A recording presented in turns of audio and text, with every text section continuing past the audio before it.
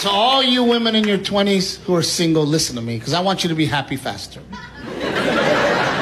Lower your expectations.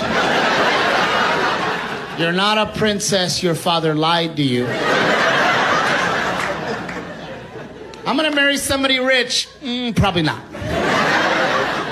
But if you really wanna be rich, rich in the things that matter, find a real man, a family man, a man that wakes up every day and goes to work. You will be happy and you'll be rich.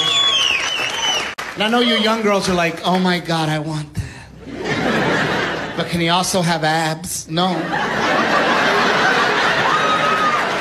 Men that work hard don't have abs.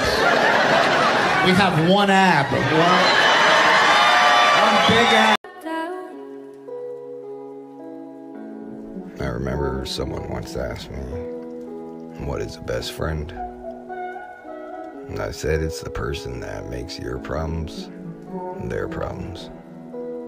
Just so you don't have to go through them alone.